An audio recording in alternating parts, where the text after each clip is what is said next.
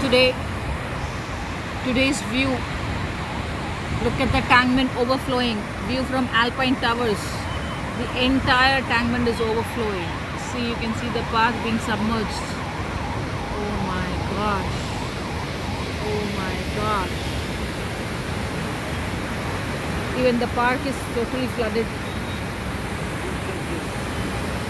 Look at the water flowing rushing out rushing out. The fury. It's terrifying. And we still have two more days of rain. God be with us